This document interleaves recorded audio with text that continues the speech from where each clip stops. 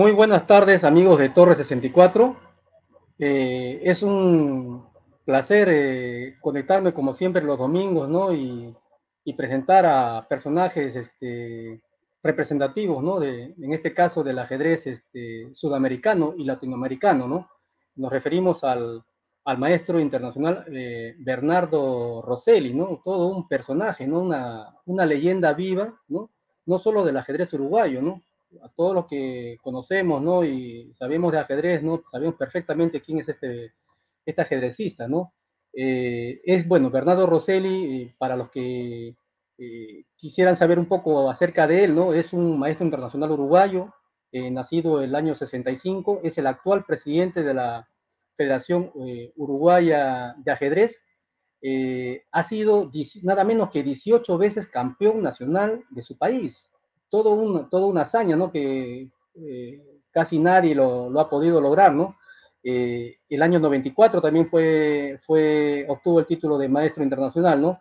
Y vamos a ver, pues, ¿no? Si, si más adelante quisiera, bueno, o todavía está en la posibilidad de, optar el título de, de, gran maestro, ¿no? Y bueno, pues, este, lo tenemos aquí presente al, a nada menos que a Bernardo, y lo vamos, le vamos a dar eh, acceso aquí a la, a la entrevista en vivo. Muy buenas tardes, maestro Bernardo. ¿Cómo está usted? Buenas, buenas tardes, Kelber. Muchas gracias por la invitación. Un placer de estar en, tu programa. Aquí desde, las, desde Montevideo, Uruguay, a la hora 19. Sé que allí en Perú son las 5 de la tarde. Este, así que este, aquí estamos con bastante frío. Espero que ustedes allí gocen de un clima un poco más amigable.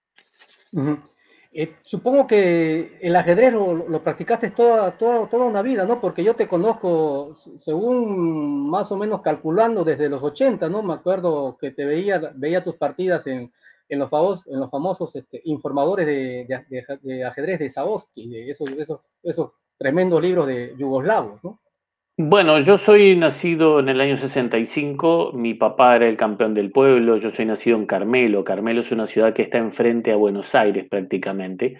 Está la ciudad de Colonia, que está bien enfrente, un poquito más al norte, son 80 kilómetros, está la ciudad de Carmelo, que es la única ciudad fundada por Artigas, por el padre de la patria de Uruguay. Y este, mi viejo era el campeón del pueblo, y yo tengo una numerosa somos nueve hermanos en total, una numerosa familia, y de los cuales cuatro jugaban al ajedrez eh, con relativamente eh, soltura, digamos, y papá tiene una buena biblioteca de ajedrez. Entonces, digamos que yo, este, el ajedrez no me era extraño, formaba parte de, digamos que, del paisaje familiar, siempre había un juego de ajedrez armado y una partida para jugar. ¿Y cómo así eh, te introduces en el mundo del ajedrez competitivo? Porque una cosa es jugar de, manera, como se dice, eh, en casa, de manera eh, aficionado, ¿no? Pero otra cosa ya meterse en la parte competitiva y más aún optar por, el título, en, tu caso, como fue MI, e incluso el haber optado, bueno, el haber ganado el Nacional Uruguayo en 18 ocasiones, ¿no? Es, eso es algo de récord, ¿no? Yo eh, prácticamente no he visto a alguien que haya ganado tantos nacionales. Ahora vamos a comentar un poco eso, pero te cuento que yo este, a la edad de 10 años eh, debuté el 8 de mayo del 76, hice mi primera partida en Carmelo, en un torneo por equipos, y luego jugamos dos años un ajedrez muy, este, digamos, eh, de un pueblo de 12.000 habitantes, un ajedrez bastante primitivo, pero sucedió que Uruguay tenía un programa muy bueno que llamaba los Juegos Atléticos Deportivos Estudiantiles, muy parecido a lo que tienen en los tiempos de, hoy que juegan los Juegos de la Consude, donde van este, cuatro chicos, dos chicas y dos chicos a jugar el torneo este, eh, allí en, distintos puntos de América. En, en Uruguay se jugó, se jugaban todos los años ese torneo que era a través de los liceos. Entonces, un torneo por equipos, lo cual mantenía la llama viva. En el torneo del año 81 yo hice una muy buena actuación y mi papá se acercó a Héctor Silva Nazari, una leyenda de, del ajedrez uruguayo, el árbitro internacional, y le dijo, ¿dónde, ¿dónde puede jugar Bernardo algún torneo interesante? Y él le dijo, la semana que viene está el Campeonato Nacional Sub-16. Esto fue en julio del año 81. Y eso fue un sábado. El lunes me encuentro jugando la final del sub-16, lo que era el campeonato cadete. Lo gano en la semana. Y a la semana siguiente, el 25 de julio, yo ya estaba viajando para Córdoba a jugar el Mundial eh, Cadete, el Mundial, en aquel momento se llamaba Mundial Cadete, el Mundial Sub-16, y que participaron jugadores, por ejemplo, de América estaba, bueno, ni que hablar que Julio Granda, que ya descollaba, Carlos Matamoros, con el cual también me une una, amistad este, entrañable, jugaba Ariel Sorín, otro gran maestro también, estaba Galego, Divyendu Barúa de la India, estaba en el, estaba en ese torneo. Es un torneo muy interesante. Lo, Stuart Conquest, que fue el que ganó el torneo, que, gran maestro inglés. Ennio Arlandi, que salió segundo de Italia, que llegó maestro internacional. Bueno, y ahí fue mi primera incursión internacional, pero con la sorpresa de un ajedrez muy rústico, ¿no? Yo no tenía unos libros muy viejos, muy malos, pero ahí comenzó. Luego me quedé tres años más en mi pueblo y en el año 84 recién me radiqué en Montevideo a los 18 años y a los tres meses eh, jugué la semifinal del Campeonato Uruguayo y la gané. Y después jugué la final del Campeonato Uruguayo y para mi sorpresa termino siendo el campeón uruguayo, eh, el campeón más joven de la historia del ajedrez uruguayo con 19 años. Toda una, una alegría para mí y una enorme sorpresa que te marca un camino, ¿no? Claro. Eh, ¿Qué tiempo, hablando del tema, del tema de, la, de la Federación de la FUA, ¿no? que son las siglas de la Federación Uruguaya de Ajedrez, eh, ¿cómo así, digamos, este, te animas a, lanzarte como, como directivo en, tu país, Uruguay, ¿no? ¿Y qué tiempo tienes ya de presidente? Bueno, el asunto es que la Federación Uruguaya de Ajedrez no siempre este, ha sido lo que es el día de hoy. Se fundó en 1926, había tenido momentos muy buenos y de gloria, y después tuvo unos momentos desde el año 94 en adelante, empezó a andar a los tumbos, como todos sabemos que sucede normalmente en algunas federaciones de ajedrez de América. El resultado que en el 2006, digamos un periodo de 12 años, eh, asumió el ingeniero Carlos Milans junto con el contador Enrique Cheli la presidencia de la federación y la federación y el ajedrez uruguayo empezó a sanar. Se empezó a reorganizar, se empezó a unir a las personas y además se organizaron dos eventos importantes en esos cuatro años, que fue un sudamericano sub-20 y un panamericano sub-20. Entonces, cuando estaba don Carlos Milans, que hoy actualmente es nuestro vicepresidente de la federación, él estaba planteando que quería dejar la federación, eh, una conversación conmigo me dijo que si yo armaba un equipo este, que me presentaba, que él apoyaba. Bueno, entonces eh, organizamos un equipo, un muy buen equipo, con personas que tenían intenciones e intereses de hacer algo. Por ejemplo, el árbitro Rubén Ulaneo, nacido en Argentina, pero estaba interesado en corregir unos temas del arbitraje. El doctor en matemáticas eh, Marcelo Lancilota, que quería hacer unas correcciones en el ELO. Nuestro, hasta el día de hoy, que ha sido compañero de estos 12 años, eh, Esteban Jaureguizar, uno de los mejores docentes de ajedrez que tenemos en América de la habla hispana. Eh, entonces él se quería encargar del ajedrez educativo. Y, también había conseguido algunas personas este, que querían apoyar económicamente y además eh, íbamos a mantener la continuidad que, del mismo delegado en la FIDE, que era el contador Enrique Cheli. Una de las características para dirigir la federación eh, es primero incluir a todas las personas de buena voluntad que quieran trabajar, diciendo este siguiente mensaje, el adversario está afuera del ajedrez. Todo aquel que sea ajedrecista es nuestro amigo y tiene algo para aportar porque no tenemos la verdad absoluta. Segundo, vamos a respetar los estatutos a, a rajatabla. Tercero, no vamos a hacer excepciones para nada. Cuarto, se escriben reglamentos, se planifica por ejemplo, nosotros tenemos un calendario de la Federación Uruguaya de Ajedrez que se repite todos los años exactamente igual en las mismas fechas. Si el campeonato uruguayo se hace en marzo, se hace el 13 de marzo, el año que viene será el 14 de marzo, pero estoy hablando de prepandemia, con la pandemia se hace otra historia. Pero entonces, de esa manera, cuando llegamos a la asamblea de diciembre, que se presenta, tenemos la asamblea anual ordinaria, donde cada dos años se eligen las autoridades, en cada asamblea se presenta memoria balance y también se resuelve quién se encarga de qué torneo durante el año, qué club se encarga, tenemos 25 clubes, 2.000 ajedrecistas en la lista de ELO.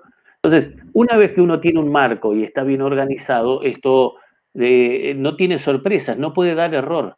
Máxime que el poder está repartido en muchas personas. Está el experto en ajedrez educativo, está el experto en, en organización de eventos, está el experto en relaciones con la FIDE, están, nosotros tenemos un comité técnico arbitral reglamentado donde los árbitros este, eh, ahí tienen sus bases para ascender y conseguir este, sus distintas promociones y además eh, el comité técnico arbitral se encarga de preparar a los árbitros también y de estructurar todo. O sea que el poder, en definitiva, de este presidente de esta federación está repartido en, muchas personas y lo que sí yo me encargo, si eso es verdad, del relacionamiento con las autoridades nacionales. El, con la Secretaría Nacional de Deporte, con los intendentes, que lo que serían los alcaldes, por ejemplo, ya en Lima, y todos los patrocinadores fuertes y demás, me encargo yo, y obviamente que el presidente siempre tiene la última palabra en muchas cosas, pero para el trabajo, eh, nosotros siempre le damos la derecha a todo aquel que está trabajando. Y el que trae una idea buena y dice, yo quiero hacer, supongamos, ajedrez en las cárceles, nosotros le damos todo nuestro apoyo, lo acompañamos para que haga esa tarea. Entonces, de esa manera, en estos 12 años de que he estado al frente de la federación, donde he sido reelecto cinco veces, jamás ha habido una lista de oposición, porque aquel que quiera trabajar levanta la mano y es incluido a trabajar. Porque en definitiva en el ajedrez somos muy pocos eh, y tenemos que combatir en realidad contra todas las demás disciplinas y contra todos aquellos que se niegan o dicen, no, el ajedrez no sirve y todo lo más. Esos son nuestros adversarios. No son enemigos, son adversarios. Pero dentro del ajedrez no te podemos tener enemigos. Así funcionaríamos como sociedad ajedrecística mucho mejor en toda América. Pero bueno, ya sabemos cómo somos nosotros los latinoamericanos, nos gusta pelear un poquitito entre nosotros. Pero acá en ajedrez, en ajedrez en Uruguay, nosotros evitamos siempre las confrontaciones y nos gusta discutir eh, y llegar a alguna idea, eh, con las ideas, llegar a algún acuerdo. Con respecto al, ajedrez allá en, Uruguay, en la parte de la masificación, eh, ¿el ajedrez allá en Uruguay es popular? ¿Cuánta gente lo practica? Bueno, eh, ya te, comenté que tenemos en la lista de él unos 2.000 jugadores, pero eh, nosotros tenemos el ajedrez, lo tenemos dividido en, varias eh, facetas. Porque como tú sabes, como un arte que es el ajedrez, tú lo puedes mirar de distintos lados, como si fuera la pintura, por ejemplo. Tú puedes ser un pintor de brocha gorda o puedes ser un artista como Van Gogh. O podés ser un profesor de, tener un taller de pintura y ser un profesor. Bueno, el ajedrez es más o menos lo mismo. Nosotros tenemos los que se dedican a la docencia de ajedrez, pero no son buenos, muy buenos jugando. Tenemos los que les gusta jugar solamente, pero no enseñan. Después tenemos el área educativa, que donde nosotros ahí tomamos el ajedrez y lo ponemos al servicio de la educación, donde no se habla ni de sicilianas, ni de Ruy López, ni nada por el estilo, sino se trata de problematizar a los chicos de manera de que ellos eh, puedan aprender a tener mecanismos de, eh, de, toma de decisiones. Entonces, viene de distintos lados. Sin embargo, nosotros, al tener en este país 70 eh, escuelas de tiempo completo en todo el país donde tenemos clases de ajedrez a los chicos, tenemos una masa de niños que tiene un conocimiento de ajedrez. Sin embargo, es bastante difícil y complicado trasladar esos chicos desde las escuelas hacia las competencias. Hemos tenido, eh, es decir, tenemos un número X de chicos eh, compitiendo, pero no es todo el número que a nosotros nos gustaría, porque no hemos logrado de una u otra manera tener esa masificación que se presenta en otros eh, espacios, en otro ambiente. Ustedes saben que acá en Uruguay el fútbol es extremadamente popular y lo practican cerca de 40.000 a 50.000 niños. Entonces nos lleva a nosotros todos los fines de semana a no tener muchos espacios donde los chicos puedan jugar. entre otras circunstancias más que suceden. O sea que el ajedrez sí está inserto en las escuelas, sí está inserto en los liceos, sí está inserto en la, facultad, pero para hacerse notar necesitamos eh, golpes de efectos mucho más fuertes y nosotros en realidad en el ajedrez no se lo estamos pudiendo dar en este país, aún. Ahora, sobre, los eventos online, eh, ¿tú crees que llegaron para quedarse? ¿O solamente es una moda por el tema, por ejemplo, del tema del COVID, digamos, del confinamiento? Bien, yo te diría que es una magnífica oportunidad y que nosotros la estamos aprovechando. En este momento, en esta semana, vamos a cerrar un contrato con la Secretaría Nacional de Deporte para hacer los Juegos Nacionales Deportivos, que se hacían presenciales, lo vamos a hacer online. ¿Qué sucede? Nosotros tenemos que aprovechar que mucha gente se acercó al ajedrez online y desde ahí lo tenemos que trasladar y capturar y llevarlos para los clubes. Es decir, tenemos que tener clubes que sean amigables, que sean de calidad, que sean ir al club, que es decir, que valga la pena. Recuerden que, bueno, tú eres eh, más o menos de mi generación, un poco más joven, pero en la década del 80 no, no había las facilidades que hay en la, en la en la casa de uno para quedarse, supongamos. Hoy en día, si tú te quieres quedar en tu casa, tenés para ver Netflix, tenés para ver eh, YouTube, tenés para jugar online, tenés para mirar las películas del mundo que quieras, la información que se te antoje, el canal cable que tú quieras, o sea que pasás muy agradablemente en tu casa. Si quieres hablar con un amigo, tomas el, móvil y hablas con quien quieras. En cambio, en la época nuestra, eh, para, para ir a conversar con alguien tenías que ir a un club deportivo, a un club social. Hoy en día eh, el club social tendría que ser una cosa de muy buena calidad, con muy buenos servicios internos, para que la gente se acerque allí. Pero la gente tiene sed y tiene hambre de jugar al ajedrez. Entonces, yo creo que el ajedrez eh, online vino para quedarse, va a ser la puerta de ingreso para eh, el ajedrez presencial y competitivo. Y de hecho, eh, yo creo que eh, así debería ser inclusive los grandes clasificatorios de, cada ciudad y cada pueblo tendrían que comenzar siendo online y después los que zafaron, de, saltaron esa etapa, pasan a jugar una cosa presencial. Ese es el camino que yo he pergeniado junto con el, con el grupo de asesores de la federación para la Federación Uruguaya de Ajedrez. Primero ajedrez online, después ajedrez presencial después el ajedrez regional y después el ajedrez nacional, un poco hacer ese camino, ¿no? Claro. Ahora, eh, eh, ¿cómo, calificarías el avance del ajedrez uruguayo en estos últimos años? Eh, ¿Ha habido crecimiento? Bueno, nosotros hemos crecido en calidad y en cantidad. Nosotros, cuando yo asumí la federación, creo que estamos en el lugar 74, 75 en la FIDE y hoy en día estamos en el lugar 67. Sin embargo, eh, te cuento que cuando yo asumí la Federación Uruguaya de Ajedrez sucedió lo siguiente, esto es un hecho importante. Eh, jugamos la primer final, yo asumí en, en, diciembre y conseguimos en la torre ejecutiva, no sé cómo es el palacio donde está el presidente de Perú, cómo se llama el palacio, tiene un nombre. Este, bueno, Palacio Pizarro, me parece. Ahí está, el, el Palacio Pizarro, por ejemplo. Nosotros jugamos en la torre ejecutiva, que es como si fuera el Palacio Pizarro.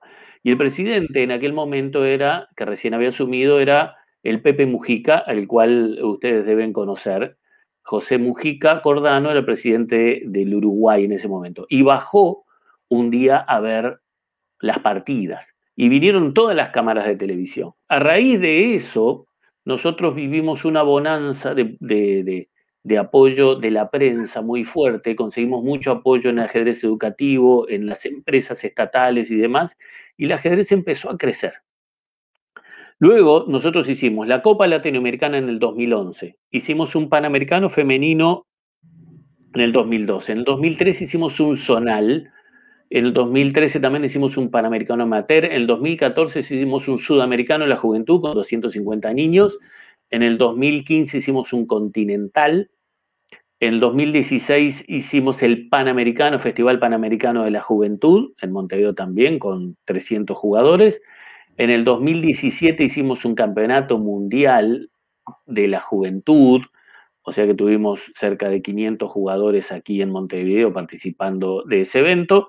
En el 2018 un continental, en el 2019 el zonal y en el 2020, debido a la pandemia, no se hizo y vamos a hacer un Panamericano Senior. O sea que todos los años estamos haciendo actividad y hemos, y lo tengo escrito por acá, te cuento que antes de que hiciéramos esos eventos, Uruguay eh, era raro que viniera a jugar un gran maestro, pero en el 2010 a la fecha nos han visitado 90 grandes maestros, 77 maestros internacionales, 101 maestros FIDES, 5 grandes maestras femeninas y la, y la lista sigue y la lista sigue. Y te cuento que en el año 2008 la FUA tenía en la lista este, una candidata maestra femenina, un candidato a maestro, siete maestros FIDES, tres MI y un gran maestro, 13 titulados en total y 128 jugadores en la lista de ELO. Te estoy diciendo en el 2008. Después de 10 años, el año 2018, tenemos dos grandes maestros, cinco MI, o sea que sumamos dos de MI, diez maestros FIDES, una MI femenina, 13 candidatos maestros y en la lista de ELO tenemos 504 jugadores en el 2018. O sea que quintuplicamos la cantidad de jugadores eh, en, la lista de ELO. Y además, eh, nosotros somos un país eh, que vive de la inmigración. Uruguay, como se sabe, demográficamente no tiene gran cantidad de, este, digamos, de personas autóctonas. ustedes, este, es muy común en, todos los pueblos de, Latinoamérica, eh, tribus, eh, lo que se dicen tribus indígenas, ustedes tienen los quechuas, digo, un, un montón así de, de, gente que es autóctona y nacida, y en definitiva. Nosotros teníamos, tenemos muy poquititos charrúas, pero ya es una mezcla y demás. Entonces nosotros tenemos una enorme influencia, tenemos una enorme influencia, este, lo que es española y lo que es este, eh, e italiana, y además permanentemente la gente está eh, emigrando hacia Uruguay. Y bueno, entonces uno de ellos fue el gran maestro Hoffman, que se vino a vivir al Uruguay, ya había sido el capitán del equipo uruguayo en el 2012, 2014, el 2016 le ofrecieron trabajo y vino a trabajar aquí. Otro maestro internacional argentino también tenía un proyecto para trabajar en Uruguay, estuvo trabajando durante un tiempo y pidió un pase para aquí, que es Nahuel Díaz, maestro internacional de 2440 puntos de Elo. Y después el caso de Luis Ernesto Rodi, que es nacido en Montevideo, que vivió muchos años en Argentina, ahora está en Brasil, y hace unos cuatro o cinco años que juega por Uruguay, ya participó un par de Olimpiadas. O sea que tenemos tres jugadores digamos que vinieron a reforzar y nosotros somos partidarios que cualquiera que quiera venir al Uruguay a trabajar es muy bienvenido, sobre todo porque nos levanta el nivel, ¿no?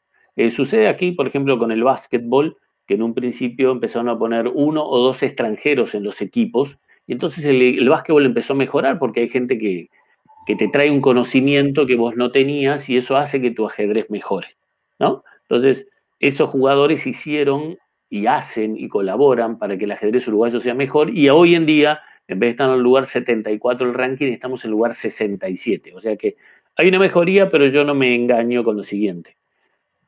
Nuestros jugadores, nuestros mejores jugadores, eh, son ya bastante mayorcitos, ¿no?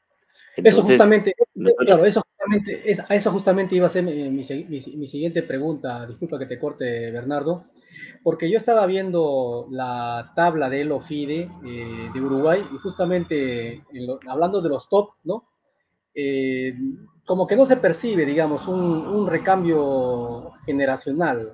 ¿O tú cómo lo percibes? Bueno, sí, mira, lo que pasa es que nosotros, por ejemplo, hoy en día, eh, viste que los jugadores hoy en día envejecemos muy rápido. Tenés un chico de 18 años que juega bien y cuando quieres acordar ya tiene 23. Y, y bueno, entonces este, eso hace que, que ya pienses que hace mucho tiempo que está. Nosotros tenemos jugadores, por ejemplo, Matías Michailov, que tiene 23 años, 24 años, y entró tercero en el campeonato uruguayo, Facundito Vázquez, que está jugando también la final del campeonato uruguayo con 17 años. Pero el asunto es que personas como Andrés Rodríguez, como, como yo mismo y otros más que hace mucho tiempo que estamos, da la sensación que no hay, no hay renovación, pero por ejemplo Nicolás López Azambuja fue campeón uruguayo en el 2014 y él es nacido en el 87, tenía 23, 24 años. El asunto es que sucede en esta parte del continente, sucede lo que todos ya sabemos, que al no haber una masa de dinero volcada al ajedrez, entonces es muy difícil plantearle a un joven de 18 años, dedícate al ajedrez porque eh, es imposible. No vas a encontrar un solo jugador en América que ganando todos los torneos que se juegan en América, estoy diciendo pre-pandemia, que pueda mantener una familia. Nosotros, por ejemplo, hacemos la Copa Duyami acá y ponemos un premio, suponete, 1.500 dólares. En Floripa se hace un torneo, ponele otros 1.500 dólares, pero vos tenés que ganar todos los torneos y tampoco mantenés una familia con eso, con todo el gasto que conlleva. Si tú me dijeras, estamos en un lugar, estamos en un lugar como muy común en Europa, que sales de una ciudad a otra y a otra y a otra, y siempre tienes un torneo donde hay 500, 600, 1000 euros en premios por fin de semana, entonces tú puedes decir, bueno, yo voy a ser un ajedrecista profesional.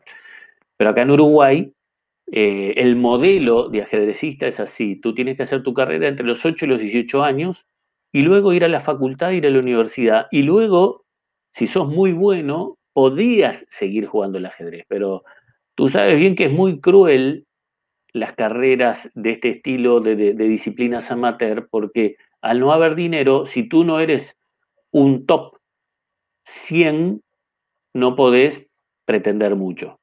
Y siendo un top 100 tampoco te resulta fácil. ¿De acuerdo? Eso ya lo tenemos muy claro. Entonces, al no tener, eh, eh, al no ser una disciplina profesional en este parte del continente, es muy difícil insistirle a una madre para que ayude a su hijo, para que estudie y que lo apoye y que le fomente, porque es lo, estamos mandando un callejón sin salida, ¿no? Salvo que tengas 14 años y ya tengas 2.570 puntos de elo, entonces ya esa, es otra historia. Pero bueno, ahí, ahí andan, sería un caso extremo. Pero normalmente un jugador de 2.500 puntos de elo a los 18 años no puede ser un profesional, tiene que vivir de la docencia, que no es, una no es un profesional del ajedrez que vive de ganar torneos. Es un profesional de la docencia, es un docente de ajedrez que le gusta jugar al ajedrez, como me ha sucedido a mí eh, la mayor parte de mi carrera, ¿no? Ah, justo tocaste el tema del, dinero. Eh, hablando de, este, de este punto, eh, la Federación Uruguaya recibe apoyo económico del Estado y si es así, eh, ¿es suficiente o en qué se podría mejorar? Bueno, los apoyos, tú sabes bien que siempre las demandas siempre superan al dinero que te van a dar, entonces este, eh, está bien. Yo te voy a contar cuál fue el proceso cuando yo asumí la Federación Uruguaya de Ajedrez. El gobierno de Mujica, el gobierno del Frente Amplio, daba dio un apoyo importante al deporte. Pero siempre a contraprestaciones. Uno tiene que hacer algo, no es decir, te doy el dinero, porque nosotros sufrimos los latinoamericanos del asistencialismo. Nos gusta que nos den. A mí vos me tenés que dar, pero nunca ofrecemos nada a cambio. Entonces nosotros, a nosotros nos, nos daban, nosotros hacíamos el trabajo en la escuela de tiempo completo, hacíamos distintas actividades sociales en los barrios, eh, en, los lugares, eh, digamos, marginales o marginados de la sociedad, vamos a decir así. Entonces, este, entonces nosotros poníamos en la balanza eh, que no, nos estaban regalando el dinero. ¿no? Bueno, apoyaban. Sin embargo, cuando vino el 2015 y cambió el gobierno, que también era el Frente Amplio, la Secretaría de Deporte empezó a planificar y a decir, bueno, ustedes armen un plan anual y nosotros le damos un dinero para todo este plan anual. Y esos cinco años fueron muy buenos porque uno podía pedir una cifra, uno podía pedir 100, eh, y bueno, capaz que te daban 70, pero tú te arreglas con los 70 que te dan y los administras de acuerdo a los planes que, te, que, está planteado.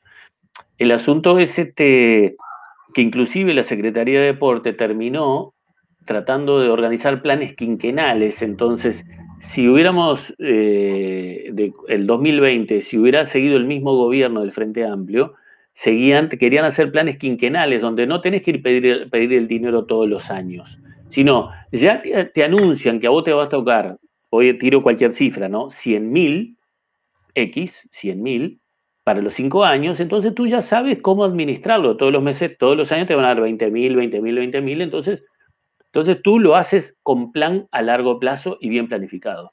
Infelizmente, el, eh, el gobierno actual, que no es del signo del Frente Amplio, es una coalición, no tiene ningún plan, están improvisando para el deporte y no están haciendo nada. Eh, inclusive en pandemia se dedicaron a no hacer nada en absoluto, cuando sí hay muchas cosas para hacer y se escudaron en eso. Y bueno, el resultado ha sido que estamos, eh, digamos que en este momento estamos huérfanos. Hay una frase que dice el general Artigas, nuestro padre de la patria, que dice, nada podemos esperar sino de nosotros mismos. Por eso, las federaciones deberíamos tender a ser autosustentables y que los jugadores aporten a los clubes y que los clubes aporten a la federación para que todo esto pueda funcionar. Porque si no, siempre estamos con la mano así pidiendo a, limosnas al Estado y, te la terminan dando si sos amigo de uno, si no sos amigo de otro. Y eso no sirve porque América no va a funcionar si nosotros no planificamos, si nosotros no nos ponemos a trabajar y, eh, dependemos solo del gobierno de turno. Entonces, Debemos eh, trabajar en la planificación, debemos trabajar en la organización y debemos trabajar en la ejecución, todos. Entonces, este, por más que uno, el gobierno, este, en, los tiempos pasados el aporte era bueno y suficiente, este, ahora estamos este, con aporte nulo y bueno, eh, estamos eh, sobreviviendo un poquitito de acuerdo a algunos ahorros que teníamos, de acuerdo a los distintos eventos que hicimos, pero se nos va a poner un poco cuesta arriba en los próximos años si eh, el gobierno no abre la canilla. Pero bueno, eh, hay que esperar un poquitito cómo se, cómo, cómo se acomodan las cosas, pero esto pasa en todos los países, en todas las federaciones. Pero la Federación Uruguaya de Ajedrez es una federación ordenada, es una federación que cuando le presta un dinero, le da un dinero al gobierno, rinde las cuentas en tiempo y forma. Entonces, este, eh, todo esto hace que nosotros, este, eh, ¿cómo es que se dice? Que seamos una federación confiable eh, para la Secretaría de Deporte acá en Uruguay. Pero bueno, vamos a esperar cómo se suceden esos acontecimientos. Es un tema interno, pero bueno, lo puedo hablar con cierta libertad y franqueza porque es así. No estoy diciendo una cosa por otra. Eh, hablando, por ejemplo, de los, de los jugadores de élite uruguayos, eh, llámese Andrés Rodríguez, Alejandro Hoffman, eh, Nahuel Díaz, tu misma persona, ¿cuán, ¿cuán, difícil es que consigan ustedes patrocinio o algún, o algún sponsor para jugar en el exterior? Bueno, lo que pasa es que nosotros no le hemos mostrado ningún éxito a, nadie, entonces no podemos este, ir a pedir eh, por patrocinadores. Normalmente el proceso del patrocinador es el siguiente. Tú tienes un, jugador talentoso con ciertas condiciones y logra un mínimo resultado bueno, X. Suponete un primer puesto en un Panamericano Sub-16. Entonces, yo ya podría empezar a conversar, mira, me gustaría que este chico fuera al mundial y que lograra tal cosa. Pero desde el año 2010 a la fecha, nosotros hemos conseguido algún, un segundo puesto en un, en un sudamericano femenino, un tercer puesto en un panamericano, creo que sub-16, alguna, algunos primeros puestos en los zonales, pero sin llegar a clasificar para la Copa del mundo, pero bueno, que le valió una norma de MI, un título de MI a Claudio Coppola. Es decir, son, digamos, resultados menores alrededor de lo que puede ser ganar un continental o ganar un zonal o ganar un panamericano o ganar un sudamericano. No hemos tenido aún eh, un resultado para destacar, ni tampoco ha nacido aquí en Uruguay un genio de las características de Julio Granda o de Magnus Carlsen o de Mequiño o de quien fuera de ese estilo. Entonces, digamos que en este país donde un jugador de fútbol de un equipo de segunda categoría hace dos goles ese domingo, entonces salen notas en todos lados. Pero viene un ajedrecista y gana un zonal y con suerte puede ser una nota perdida por ahí en algún lado, pero no mucho más que, que eso. Entonces, yo diría, no digo que es imposible, pero desde el punto de vista privado diría que es extremadamente difícil. Hemos hecho muchas gestiones y no resultó muy sencillo. Y el gobierno uruguayo no tiene un plan de becas para ajedrecistas en desarrollo, sí tiene plan de becas para los que han tenido y obtenido medallas a nivel panamericano, te estoy hablando a nivel de olímpico, ¿no? No estoy hablando de ajedrez.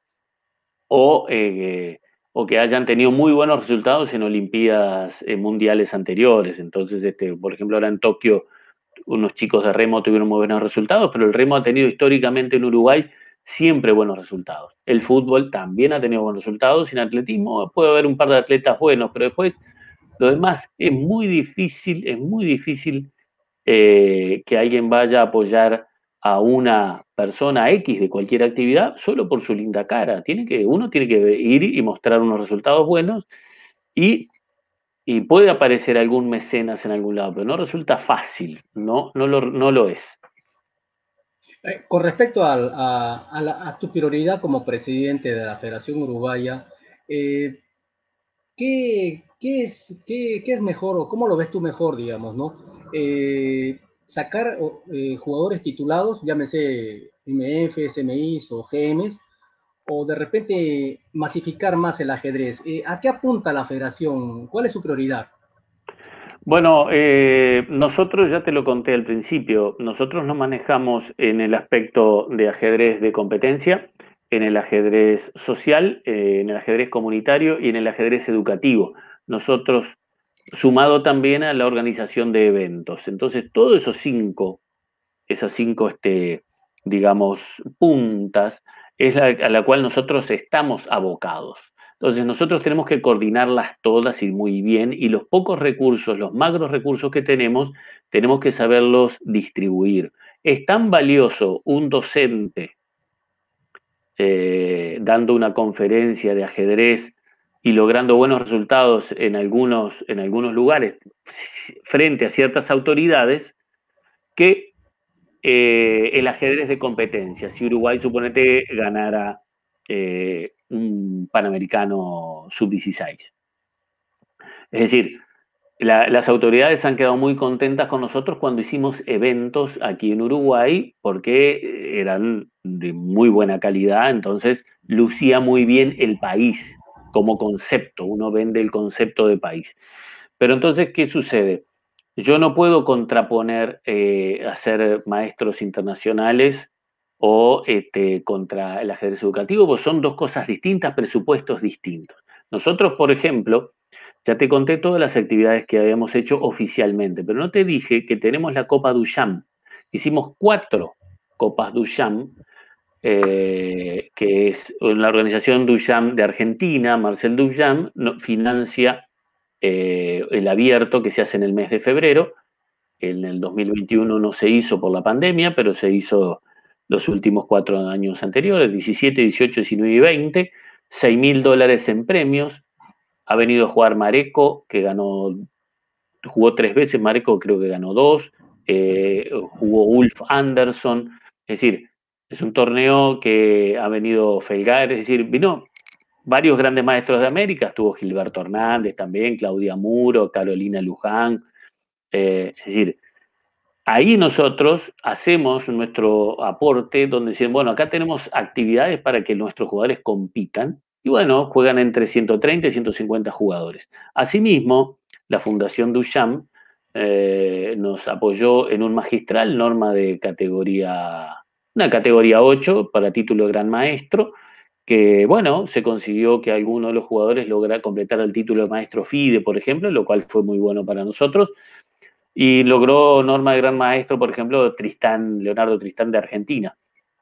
Bueno, eh, fantástico. Todo eso sirve para aquí, para que el ajedrez este, del Cono Sur esté funcionando, pero no es contrapuesto con el ajedrez social, con el ajedrez comunitario y con el ajedrez este, educativo. O sea que eh, dentro de nuestro abanico nosotros tenemos eh, que las autoridades educativas apoyan el ajedrez educativo y tenemos que un mecenas apoya un ajedrez competitivo. Y nosotros tenemos que surfear en esa situación y bueno, cuando aparece el ajedrez competitivo y viene alguna figura importante, logramos cierto renombre en la prensa y que salga en algún canal de televisión.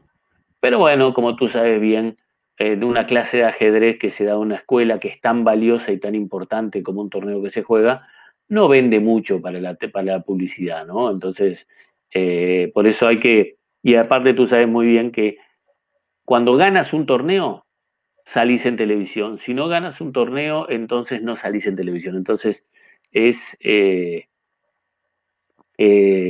es una de las tantas cosas que uno tiene que trabajar y, saber poner bien en la balanza qué es más importante en cierto momento, ¿no? Claro. Ahora, eh, ¿cómo ves tú el ajedrez uruguayo de, de acá a unos 5 o 10 años? Bueno, yo yo te diría que el ajedrez va a dar un gran salto en el 2025. Se avecinan muy buenos tiempos para el ajedrez uruguayo en el 2025, sobre todo porque eh, nosotros estamos bastante bien organizados y eh, estamos pasando bastante bien el temporal de la, eh, de la pandemia. Entonces, cuando logremos pasar el, temporal este de la pandemia, el ajedrez uruguayo va a, retomar la senda de crecimiento un poco más firme. Y también digo porque obedece a algún plan estratégico que tenemos que, es medianamente secreto, que solo tenés que esperar cuatro años para verlo, este, que van a suceder cosas que dentro de cuatro años van a hacer que el ajedrez eh, desde 2025 en adelante sea mucho mejor, eh, de acuerdo a un proyecto que tenemos pergeniado. Eh, lo que es ahora, en este momento, nosotros lo que vamos a hacer, los más viejitos, vamos a, tratar de mantener y sostener el ajedrez uruguayo este, hasta que vengan otros jóvenes y nos releven tanto en las actividades dirigenciales como en las actividades competitivas. Nada, si bien nosotros para el Uruguay somos, junto con Andrés, Hoffman, jugadores relativamente fuertes, tampoco somos unos grandes genios. Yo pienso que deberíamos estar al alcance de, ciertos talentos que hay que tendría que ponerse a estudiar un poquitito más y dedicarle unas cuantas horas más de las que le dedican normalmente para, para tratar de llegar a ser bueno, ¿no? Claro, con respecto a eh, ahora que, estamos en la pandemia, ¿eres partidario, por ejemplo, del ajedrez híbrido? El ajedrez híbrido eh, es una gran solución.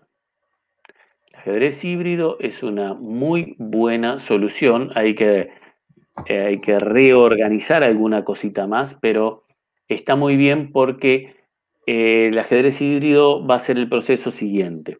Suponete que tú estás en Camaná. Entonces vamos a hacer un torneo online 3 minutos 2 segundos. Bien, jugaron 200 chicos, bueno, clasificaron 100. De esos 100 van a jugar el nacional.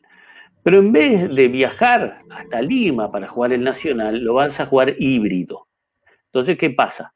Al jugarlo híbrido, vos ahorras a la familia de los chicos un montón de dinero de traslado. Y después, si ellos logran llegar a, la final y logran muy buenos resultados, después podemos considerar en viajar a jugar presencial.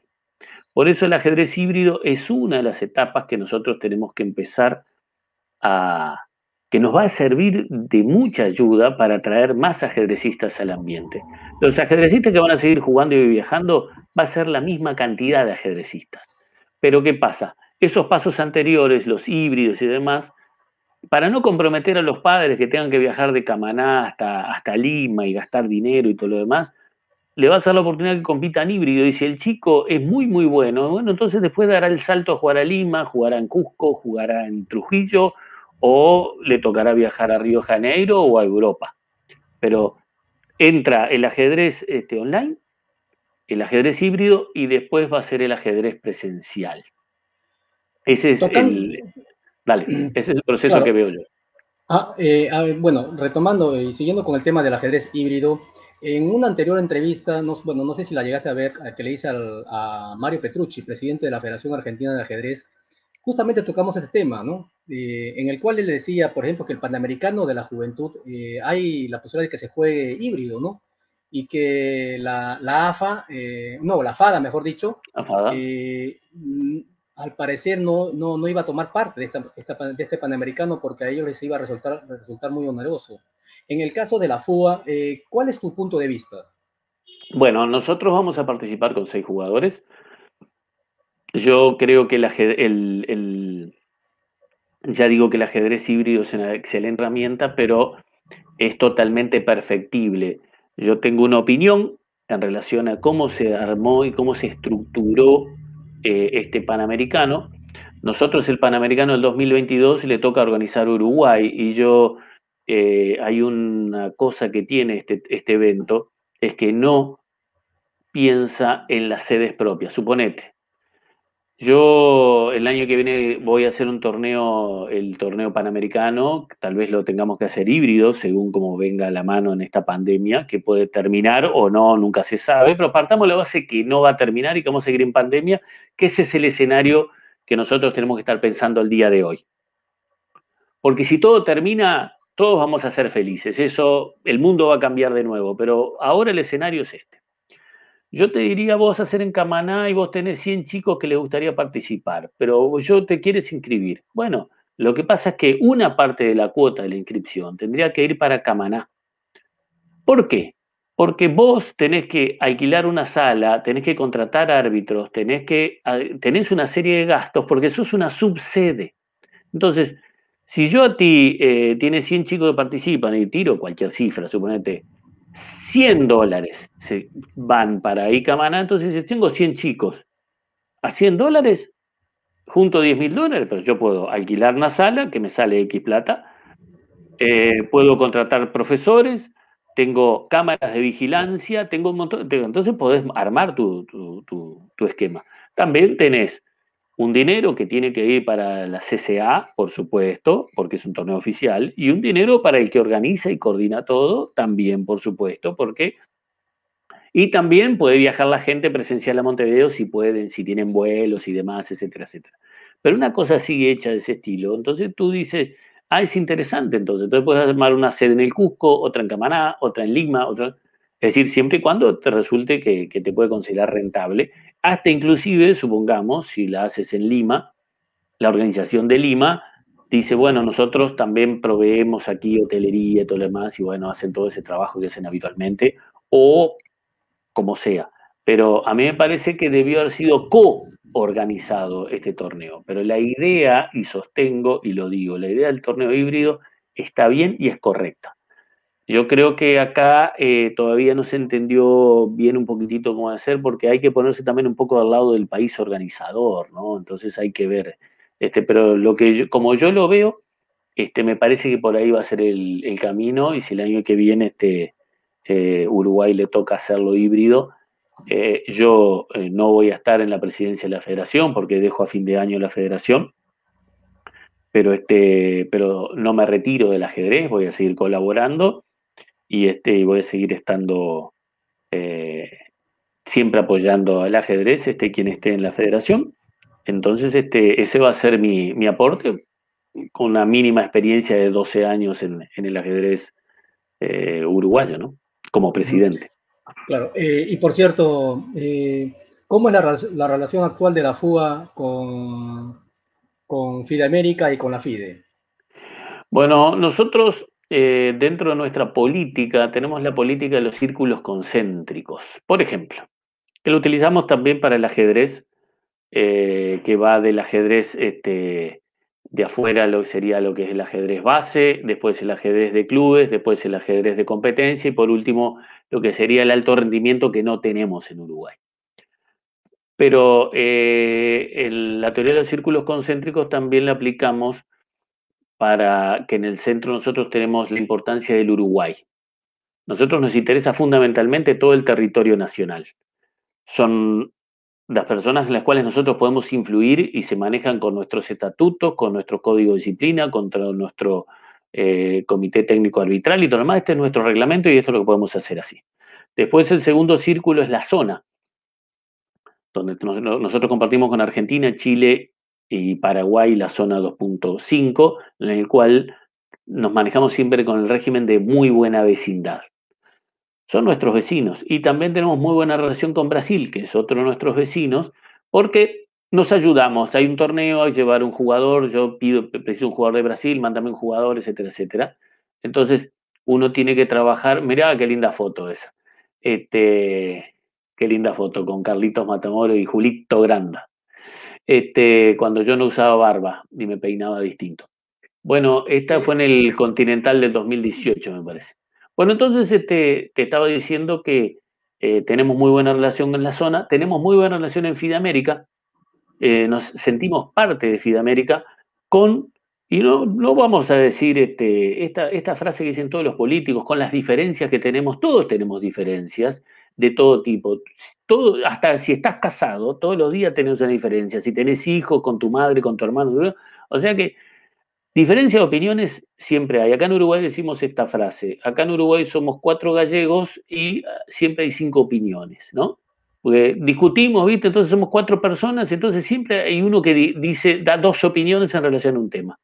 Entonces, en el ajedrez americano, en el ajedrez eh, sudamericano, en el ajedrez eh, zonal, y después, después tenemos por último la FIDE, y nosotros en la FIDE que también mantenemos buena relación, nuestra idea siempre es ir en un bloque todo junto a hablar con toda América que tiene que ir a hablar con la FIDE. No se puede ir a hablar uno solo en la FIDE, porque ya sabemos lo, que, lo malo que es eso. Ir uno solo a negociar con uno más grande no funciona. No funciona de la época donde uno tiene que trabajar.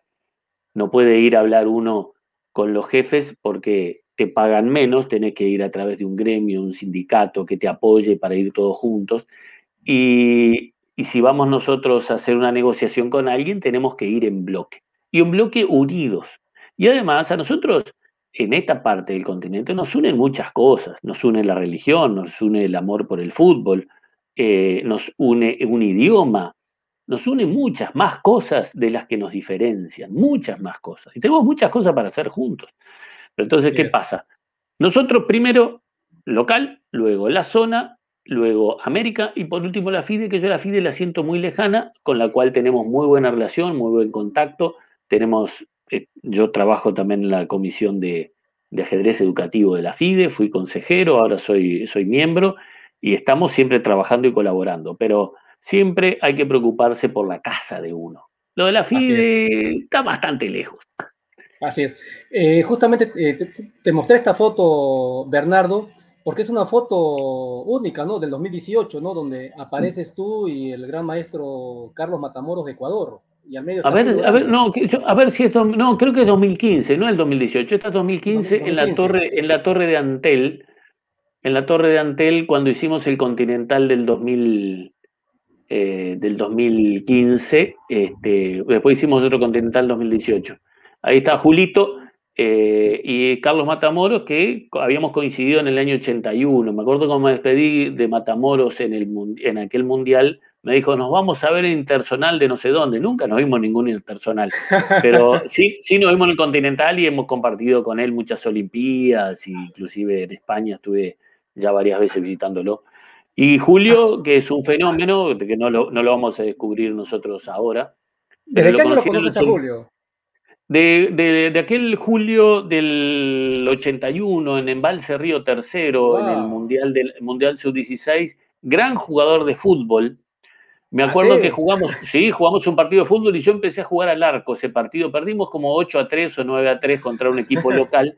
Y Julio me dice, no se la des a fulano, porque había un par de jugadores, un, uno Maxim Draghi, que era un gran maestro muy fuerte, después terminó siendo, pero de fútbol no sabía nada. Me dice, podés dársela a este, a este, a Dijendu Barúa, que jugaba muy bien al fútbol, a Mer Saed de, de Emiratos Árabes, jugaba muy bien, y Julio, que era el mejor. Pero Julio, en una cancha grande, iba y venía, sacaba del arco, hacía todo él, corría, corría todos, y este. Y bueno, logramos una muy buena derrota pero nos divertimos mucho ese día. Eh, este, Bernardo, te, digo lo siguiente, siempre tengo eh, con nuestros invitados, bueno, en, las entrevistas los domingos siempre tenemos invitados sorpresa, así que tenemos un invitado sorpresa. A ver, lo vamos a hacer pasar a la, a la sala. A ver, bienvenido, a ver con quién tenemos. El gran Julio Granda Zúñiga. ¿Qué, qué, tal, Bernardo? Qué gusto saludarte. Qué lindo, campeón, campeonísimo, el hombre que cerró el círculo, campeón infantil y después campeón senior. y ahora tenés que esperar unos años para ser el campeón senior de los 65. Entonces te queda mucho tiempo todavía. No, no, yo, digo, yo digo como jugando, ¿no? Eh, campeón infantil, campeón de veteranos, algo falló en el medio, ¿no? sí, bueno, está. lo que pasa es que vos sos muy bueno en la apertura y, en los finales, pero en el medio juego siempre fuiste un poquito flojo, sí, siempre, sí, Justamente al revés. ¿Cómo anda, Julio? Bien, bien, bien. Bien, aquí pues, eh, justo estoy en la tierra de Calver, somos paisanos. ¿Ah, sí? justamente, este. me, pasa la curiosidad, Bernardo. Eh, te conoces bastante bien las ciudades del Perú, incluso hasta los dicen los nombres de, eh, casi perfectos. Eh, sí, este, porque en realidad, por ejemplo, mi tío tiene una, cerca de Lima, tiene en Casma, tiene una vivienda, después en Chiclayo tenían no sé qué otra cosa, entonces este, que en Arequipa había pasado no sé qué otra historia más, entonces, este, por eso ya te había comentado que, que mi mamá tiene tres, tres, hermanas, viven allá en Lima, se fueron en 1970, 1968, 1970 y 1973, se fueron las tres hermanas, se casaron con tres peruanos, mala elección hicieron, pero bueno, ¿qué vamos a hacer? Este, y, cada una tuvo cuatro hijos, entonces este, tengo muchos primos en Lima. Entonces, este, y aparte ya, ya vienen otras descendencias, porque tuvieron hijos que ya los hijos ya no sé ni los nombres, ni cómo se llaman, porque el tiempo pasa, pero este, entonces somos de estamos muy al tanto de toda la realidad peruana, nos preocupamos mucho por la realidad peruana muchas veces, como eh, leemos mucho los diarios de, cómo le va y a veces este, sin querer entrar en, el, eh, dar a ninguna opinión, digamos que a veces nos duele un poquitito las situaciones que le ha tocado vivir a ustedes este, eh, políticamente sin dar ninguna opinión de ningún tipo, porque en realidad hay un, fuerte afecto de nosotros este, aquí para los peruanos. Por ejemplo, yo le voy a decir a, ver a ustedes dos, que son muy jovencitos, si yo les dijera Quiroga, Duarte, Chumpitaz, Manso, Díaz, Cueto, Velázquez, Cubillas, Muñante, La Rosa y Oblitas, ¿qué equipo es ese?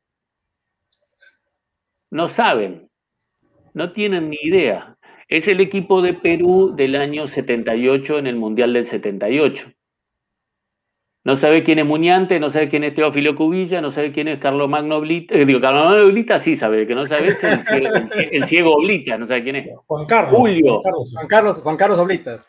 Juan Carlos Oblita. Ah, entonces está bien. El Chumpitá sí lo tienen, ¿no? Porque si no, agarramos y cortamos la comunicación acá, ¿eh? Yo, yo lo conozco personalmente a Chumpitaz. Incluso hemos jugado algún partidito juntos. Ah, muy bien. Sí, sí, sí. Este, Vos sabés que mi mamá, mi mamá, no, mi abuela, cuando iba a, cuando iba a Perú, este, los 25 de agosto, que es la fecha de independencia de, Uruguay, había una reunión en, el, en la embajada. Entonces iban a saludar todos los uruguayos cuando ella coincidía. Y entonces, no sé si recuerdan ustedes a Juan Joya Cordero, muy, muy conocido, por supuesto. Juan José Cordero fue, fue puntero izquierdo de Peñarol y mi, mi, abuela era hincha de Peñarol y mi abuelo también. Entonces se sacó, y creo que también estaba, en esa foto se sacó con joya, y yo no sé si no estaba también, aunque era ecuatoriano, estaba también este Spencer ese día ahí. Entonces sacó una foto con cada uno del brazo, y la verdad esa foto nunca la tuve, pero me parece fantástica. Mi abuela, este, fanática de Peñarol, ¿no? Y, este, ¿Y tú, Julio, qué has hecho durante la pandemia? Bueno, eh, eh, ya venía con la idea de, dedicarme a dar clases, hacer otras actividades, porque claro, después de estar viviendo en España y volver al Perú implicaba ya dejar prácticamente la competencia, ¿no? Entonces, eh, más con esta situación ya obligado a dar clases, ¿no? Así que estoy, estoy ya acostumbrado, ya asumo mi, mi, nueva etapa en mi carrera de ajedrez y, y bueno, al comienzo obviamente cuesta adaptarse, pero luego te vas acostumbrando y también vas teniendo satisfacciones, ¿no? Sobre todo cuando hay niños pequeños que les gusta y cómo los motivas. Y, es eso es algo muy, muy especial. Tú sabes que yo durante la pandemia me dediqué a escribir. Escribí este libro, se llama Viajando por el ajedrez uruguayo, de 1980 a 1989, y inclusive relato un poco de, de algunos eventos este, comento algo del Mundial también, pero estoy poniendo estadísticas del Uruguay, algunas partidas mías, eh, algunas historias, anécdotas y cuentos, y este, fundamentalmente este, eh, eh, esto está enfocado, culpa de, dicho de esta manera, de Silva Nazari, que escribió el libro Los 100 años del ajedrez uruguayo, que yo no sé si te lo regalé a ti, este, Julio, entonces, ¿qué pasa? Ese libro, eh, él me dijo, tú tienes que continuar escribiendo la historia. Entonces, aproveché la pandemia y el año pasado, desde el 20 de marzo, estuve cuatro meses leyendo artículos, estudiando, investigando y, y logré sacar un primer tomo y pienso hacer cuatro tomos más. Pero bueno, hay que adaptarse a los tiempos que corren. A nosotros nos encanta viajar, ir, competir, pero y estamos, estamos medio como encerrados aquí, pero bueno, este, eh, ya volveremos a salir y nos volveremos a ver pronto, pronto. Eh, Julio, Julio y Bernardo, yo tengo una, una, pregunta que hacerle a los dos. El tema de las aperturas, por ejemplo, eh, de un tiempo a esta parte ha evolucionado bastante. No sé si para bien o para mal, pero por ejemplo, aperturas tipo, seguro que las han visto de repente en Liches o chess.com, ¿no? tipo, eh, por ejemplo, lo que juega Renato Terry, caballo H3, yo, yo incluso le digo la apertura Renato, ¿no? Caballo H3, o, lo que usa, por ejemplo, Carlsen, ¿no? el ataque torre con D4 y, alfil, y alfil F4. Eh, aperturas extrañas como G4. Eh, ¿Qué opinan ustedes al respecto de este, de esta, de este tipo de aperturas, llámese irregulares? ¿Son partidarios? ¿Las aperturas han evolucionado? ¿Cómo lo, ven ustedes? No sé si alguno de ustedes, a ver, Julio, no sé si tú me puedes el, el, maestro, el maestro es el maestro, o sea que A ver, Julio. bueno, eh, yo siempre soy, y más ahora, yo estoy, estoy llamando ahora, antes, una vez García Palermo me, me dijo con mucho cariño que era un analfabeto del ajedrez. Y tenía razón, ¿no? Tenía razón. Sin embargo, ahora en mi nueva faceta me estoy culturizando y ahora ya pues tengo un bagaje más... Eh, más notorio y yo creo que el, eh, el, ajedrez pues tiene una lógica que se tiene que empezar desde la apertura, ¿no? Se puede hacer eventualmente alguna excentricidad tipo lo que mencionas, ¿no? Caballo H3, que justo estaba pensando, ¿no? ¿Cómo es la mente del ajedrecista, ¿no? Yo decía, caballo está H3 con la idea de jugar luego G3, porque si te juegan D5, G3, evitas que te den los peones, luego puedes jugar F4, ese caballo puede ir F2, o sea, no es tan grave, ¿no? Y como factor sorpresa, puedes utilizarlo, pues alguna partida, pero en general yo creo que, y más aún en estos tiempos, eh, y las máquinas pues nos están demostrando de que el ajedrez se tiene que jugar bien desde la apertura, ¿no? Entonces, eh, para, para, una partida rápida, para algo así, puede valer, ¿no? Pero, pero incluso, incluso aperturas un tanto estrambóticas como la G4, por ejemplo, más estrambóticas todavía, eso yo creo que, que no, no, va a sostenerse, ¿no? Como sorpresa, un par de veces, pero no, no, creo que dé para más, porque, porque te lo estudian. Y no te lo estudian tomando como referencias, pues, partidas clásicas, porque probablemente no haya, si no te ponen la máquina, y la máquina pues va a castigar cosas, cosas que, no tienen, que no tienen lógica, ¿no? que no tienen sustento, porque en realidad el ajedrez evolucionó mucho, pero, pero siempre hay una lógica y hay un sustento. Hay una lógica, un sustento, hay una armonía, hay una coordinación y hay una naturalidad en las piezas, ¿no? Entonces, decir, las piezas tienen que ir para ciertos lados. Si alguna, eh, tenés razón, alguna excentricidad podés hacer, pero no dos. Una sí podés hacer, pero dos no. Dos ya es un problema. Y porque, eh, es decir, eh, todos sabemos la ley de, las dos debilidades. ¿viste? Una debilidad puede tener la posición, ya tenés dos, es un problema. Y lo mismo sucede en, todos los órdenes de la vida. ¿viste? Uno puede tener, y sobre todo a, Julio, que es muy mayor que yo, ¿viste? yo, por ejemplo, me lleva como 20 años. Pues, este, por ejemplo, ahora, ahora que se pone achacoso, él, por ejemplo, una, una enfermedad puede tener. Suponete capaz que tiene problema, está corto de vista, pero si la suma con otra más que, ya le tiene un problema en el oído, ya se convierte en, un, viejo sordo, entonces, y, entonces no. Por eso, una sola habilidad puede ser. Y Julito, ¿seguís jugando al fútbol, Julio? Bueno, ahora estoy con muchas ganas, ¿no? El problema es que no, no está permitido, es, eh, y no solamente eh, por las prohibiciones, sino también por, la cuestión psicológica, ¿no? O sea, yo realmente eh, no tendría ningún inconveniente jugar un partido, pero claro, eh, vives con una familia, no, no, todos piensan como tú y, en estas circunstancias es mejor, es mejor ser prudente, ¿no?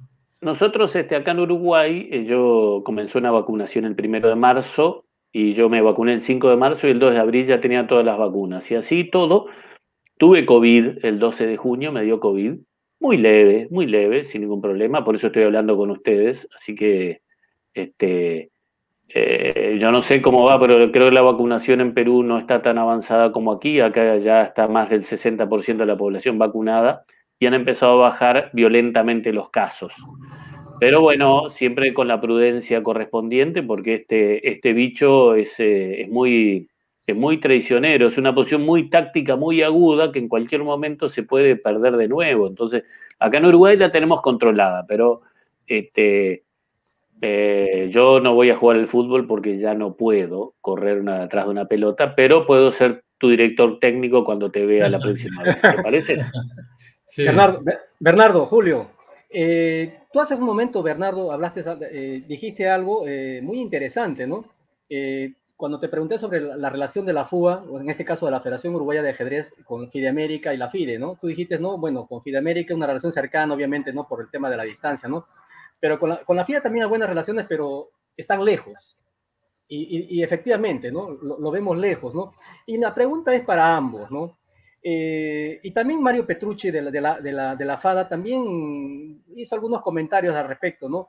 De, eh, ¿por qué eh, en esta parte del, continente, eh, exclusivamente América, si lo, si lo vamos más, más exactamente Latinoamérica o Sudamérica, ¿no? no se llevan a cabo torneos importantes? Por ejemplo, y hace muchos años, ¿no? El tema, por ejemplo, de las Olimpiadas Mundiales, creo que nunca se llevado a cabo aquí en Sudamérica, y, y los campeonatos del mundo. ¿Por qué es que no se, no, no, no se trae un, evento tan importante para esta parte del mundo? A ver, no sé, a ver, empezamos con ti, Bernardo. Vamos a esperar sino de nosotros mismos. ¿A ti te parece que los países de América son suficientemente, los gobiernos de los países de América son suficientemente estables para que dentro de cuatro años te tengan prometidos los cuatro, los 10 millones de dólares que salen para hacer un evento, que tú puedas ir y firmar diciendo va a haber un evento en tal momento, si ni siquiera sabemos si en cuatro años vamos a tener los mismos presidentes. Si no hay un plan, una planificación a, nivel de gobiernos macro, porque el dinero tiene que salir de algún lado, porque las Olimpiadas tienen un costo muy importante, entonces nosotros no podemos traer eventos así. Tampoco eh, organizar una Copa del Mundo, por ejemplo, es un eh, un, torneo donde juegan dos personas, pero hay que poner un millón y medio de dólares, dos millones o tres millones de dólares para hacer ese torneo, y es un dinero que acá en América no abunda, y además, nosotros tenemos problemas de dirigentes a nivel político arriba, tenemos problemas de dirigentes a nivel político media, suponete secretarios de deporte, ministros de deporte, y tenemos problemas de dirigentes de federaciones también. O sea que si tenemos problemas en los tres estamentos, no existe ninguna posibilidad de traer un evento de eso aquí, porque la FIDE no da dinero, la FIDE no tiene dinero para aportar para ese evento. El dinero tiene que ser de cada país. Y yo no, no veo países aquí en, Sudamérica o en toda habla hispana, hispana, hispana, perdón, que vayan a invertir entre 10 y 14 millones de dólares para hacer un evento para qué, para que quede qué, para mostrar qué. Porque si ni siquiera los países están pudiendo sostenerse, muchos países ni siquiera pudieron organizar las vacunas que tenían que dar a su, población, otros ni siquiera le pueden dar comida, otros... Entonces, no vamos a invertir ese dinero. Fíjense, les voy a contar una.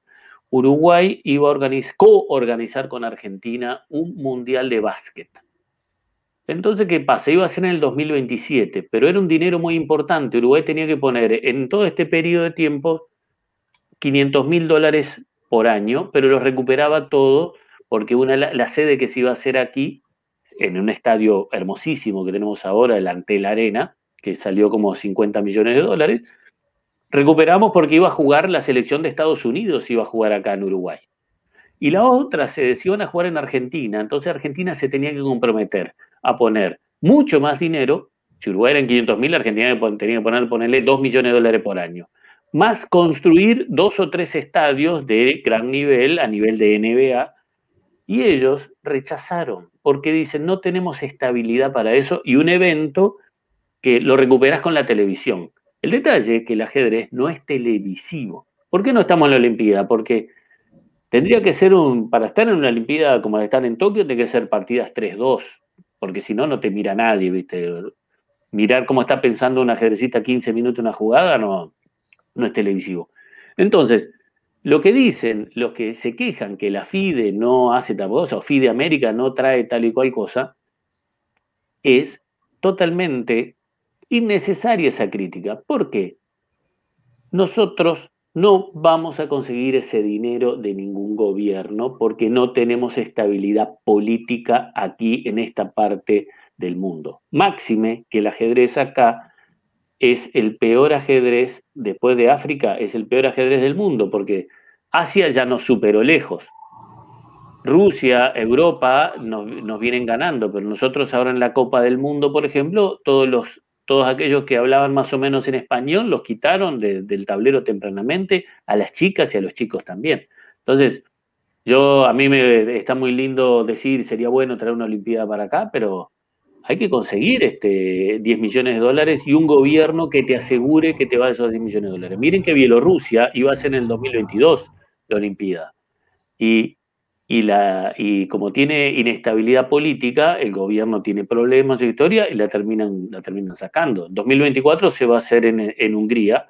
No sé cómo es el gobierno húngaro, pero bueno, tienen un fuerte apoyo de, de Judith Polgar y probablemente hayan conseguido por alguna ley. Pero no es un tema que resulte fácil. Les cuento que en Noruega salió por ley presupuestal por la ley presupuestal. Entonces, ¿qué pasa? Si está en la ley, entonces el gobierno te dice, bueno, pero por ley vos tenés que poner estos 14 millones de dólares, 14 millones de euros, tenés que ponerlo al servicio del torneo.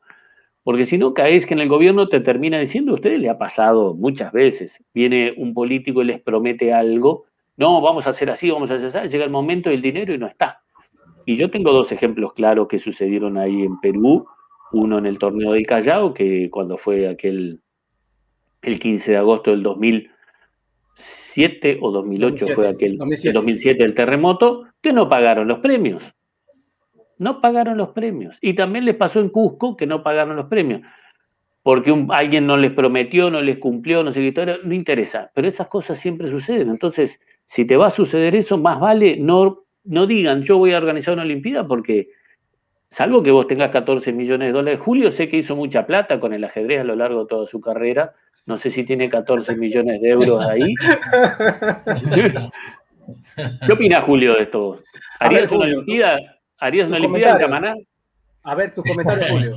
No, no, justamente eh, no tiene sustento lo que dice Bernardo, porque si Argentina lo hizo fue eh, justamente porque era un gobierno militar, ¿no? Concisión las Olimpiadas, bueno, eh, ahora cuando lo hizo, eh, lo hizo eh, antes, porque Argentina ha hecho dos Olimpiadas, ¿no? Y bueno, en ese entonces no sé el contexto político, pero Argentina era pues, era una potencia, no tenía muchas mejores condiciones económicas. Era una potencia, pero sabes que le negaron el dinero y la federación quebró. Ah, no, no problemas, quebró, ah. tuvieron muchos problemas. Mucho, mucho problema porque les desapareció un dinero que, te, que le iban a dar, entonces tuvieron que, salir a, solucionarlo. eran otros tiempos, ¿no? Bueno, Cuba, Cuba, hizo en el 66. No, justamente, justamente también Cuba. Cuba ya con, bueno, con, el régimen castrista ya, ya pues tenía, ¿no? Tenía varios años ya en el poder y bueno, tenían, ¿no? Esa, esa, esa situación, ¿no? Eh, entonces, eh, tiene sustento lo que dicen, Entonces, es eh, muy difícil poder garantizar pues una Olimpiada cuando se requiere pues una planificación, no es, eso no se hace de la noche a la mañana, entonces tiene que haber una planificación y claro, un, un, gobernante se puede, se puede comprometer, pero al siguiente no, no le interesa, incluso el mismo Noruega, ¿no? Eh, creo que escuché yo que habían tenido algunos problemas de presupuesto y se nota sí, que... Porque, porque el problema de Noruega fue que pusieron el presupuesto solo para la Olimpiada, pero le faltó el presupuesto para la Copa del Mundo, no pusieron mm. ese dinero. Entonces, ¿qué pasa? se gastaron dinero en la Copa del Mundo, que eran, son 3 millones de dólares o de euros más o menos, pero eh, era de dinero de la Olimpiada, entonces tuvieron que votarle otro presupuesto más. Por eso yo te digo, si vos vas a hacer una Olimpiada, entonces vos precisas que el Parlamento te vote una ley que diga se va a hacer tal evento, suponete, ¿no? Por ejemplo, Uruguay está pretendiendo hacer el Campeonato Mundial del 2030 con Argentina y Paraguay, no sé si también entra Chile también, una cosa así. Todos sabemos que eso va a fracasar, porque la inestabilidad que hay en estos, en estos lugares es terrible. hacer estadios sale cientos de millones de dólares para que después no juegue nadie. Entonces, bueno, a nadie se le ocurre hacer un estadio de fútbol aquí. Ya, por ejemplo, el Estadio Centenario, les cuento, el mítico Estadio Centenario, se dice Centenario porque se inauguró el 18 de julio de 1930, cuando se cumplían los 100 años de la primera constitución de la República del Uruguay, por eso dice el centenario, ya no están jugando ni Peñarol ni Nacional. Nacional ya tiene su estadio, Peñarol tiene su estadio, se llama el campeón del siglo, y un estadio bastante moderno que le salió como 50 millones de dólares, pero no están utilizando ese estadio gigantesco, que no sé si Julio lo visitó cuando vino por Montevideo, pero este, que está quedando obsoleto.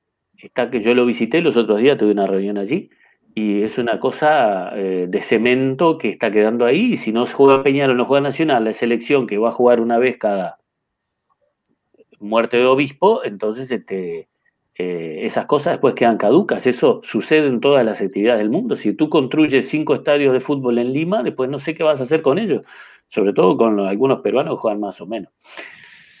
Eh, ¿El Alianza Lima o el Sporting Cristal? ¿Cuál es el que juega bien, Julito? bueno, la verdad que he perdido bastante interés por el fútbol. Eh, a veces ni, veo la Champions, ¿no? ya perdí bastante interés. no pierdo el interés por jugarlo, pero eh, prefiero, prefiero ver mucho más tenis que, fútbol. Bernardo, Bernardo y Julio, una, una, pregunta más que, que quería hacerles. El, próximo año se van a llevar a cabo las, elecciones de Fidamérica y el actual presidente eh, Jorge Vega ya, ya, ya, ha dicho, ¿no? ha aclarado ¿no? de que él no se va a presentar ¿no? Eh, eh, para el 2022. ¿Cuál creen ustedes que debería ser el perfil del próximo presidente de Fidamérica? Y si tienen algún candidato, por ejemplo, no sé si Bernardo Lafuga de repente por ahí tiene algún candidato en mente para, para, ese, para tremendo sillón, ¿no? Bueno, yo este, yo sí tengo el perfil de la persona que tiene que, hacer la tarea. Yo este, me gustaría que fuera alguien de diálogo, me gustaría alguien que planifique, que organice, que piense, que esté cerca de los problemas y que ayude a las federaciones a desarrollarse. No que, y esto lo vuelvo a decir, ya lo dije antes en el reportaje, que no se practique una política asistencialista. De, eh, eh, voy a utilizar un lugar muy común, no de dar el pescado, sino de enseñar a pescar.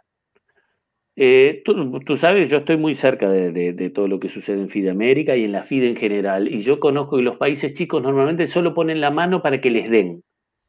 pero ninguno se pone a trabajar, ni a organizar, ni, ni armar este, políticas internas para que esto funcione. No, solo quieren que le den para subirse un avión para ir a jugar un, torneo en tal lado. Y eso no es desarrollo. Ese es el final de un proceso, puede ser ir a competir a algún lado, pero el desarrollo interno es el que hay que hacer. Yo no sé si Jorge Vega se va a presentar o no. Yo Jorge Vega eh, hablo con él regularmente, lo veo muy vital a, sus ochenta y tantos años, que cumplió el 18 de agosto, va a cumplir creo que 85 cumple ya, 86. Muy vital, eh, muy capaz, muy lúcido y este, depende de las energías que tenga él.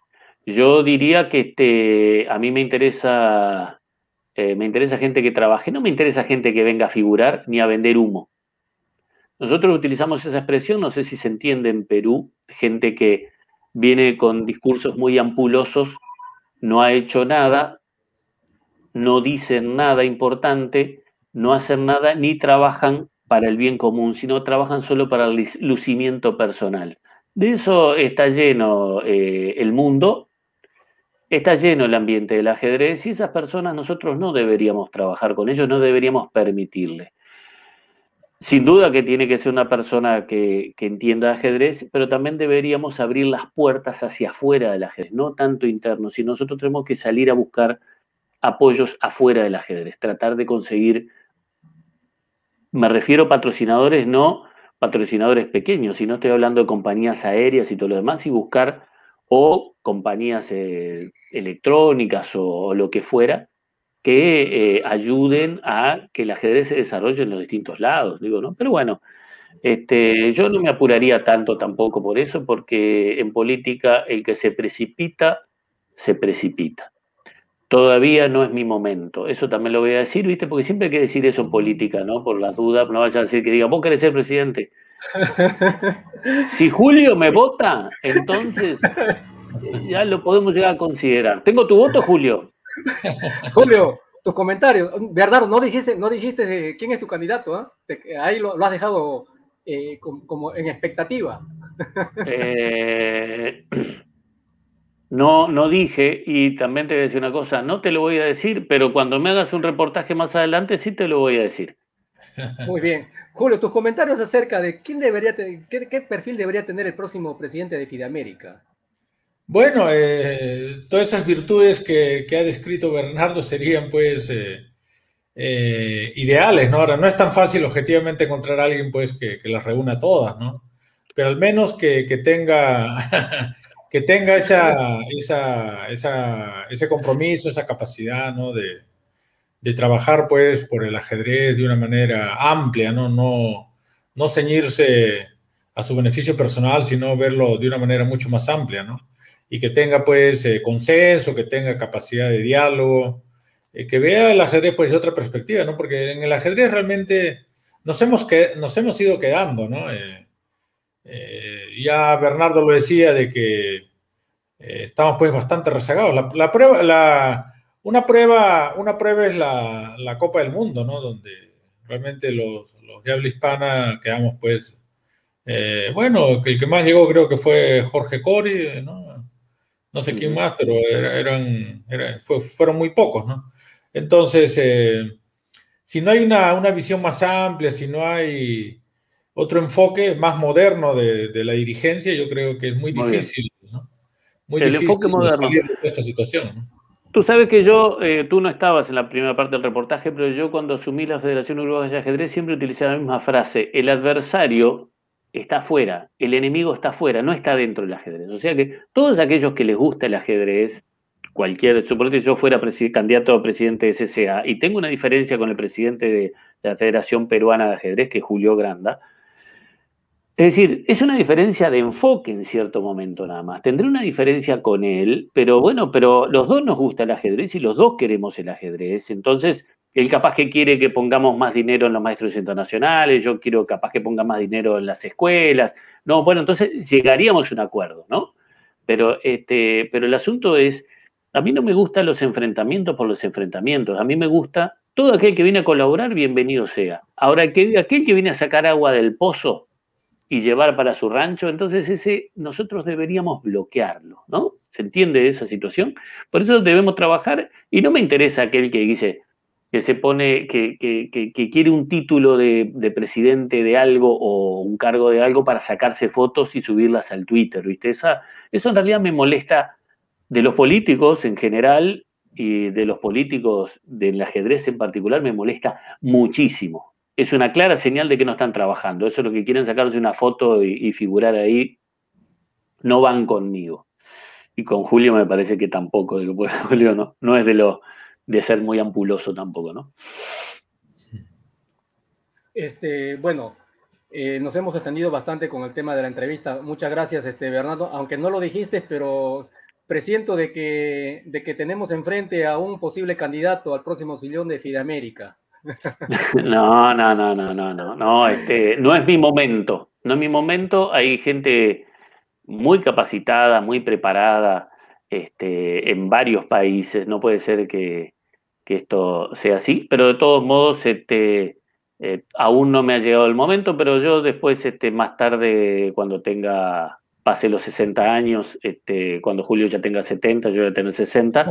Este, 64, entonces, entonces yo voy, yo voy a este, yo voy a estar, probablemente yo pueda estar disponible, pero este, para dar una mano en cualquier lugar que sea, dentro de un consejo directivo de, de Fidamérica y todo lo demás, para dar mi opinión, una opinión así amplia como tengo, aparte con el buen relacionamiento que, que, que, tengo con, con muchos, este, muchos ajedrecistas de América, pues nosotros acá tenemos a Julio, por ejemplo, Iván Moro, y que digo, es decir, eh, mucha gente de muchos años en el ambiente del ajedrez que son, siempre son referentes de alguna manera, Alonso Zapata, entonces eh, Gilberto Hernández de México, o los amigos cubanos y demás, que en los cuales uno puede tener un diálogo más fluido que si uno es un dirigente que está totalmente por fuera del ambiente o que no conoce el ajedrez puntualmente o no conoce lo que siente y vive el ajedrecista, que también hay que conocer de ajedrez educativo, de ajedrez social, de ajedrez competitivo, muchas cosas.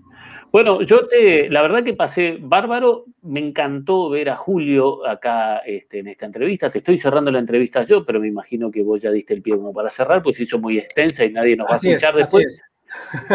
Este, pero este, te mando un fuerte abrazo, Julio, un gusto verte. Muchas gracias, Kelber, por esta nota.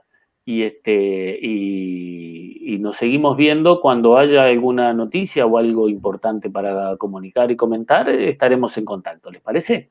Sí, igualmente, Bernardo, un fuerte abrazo, un gusto saludarte y, por supuesto, a los amigos eh, uruguayos también.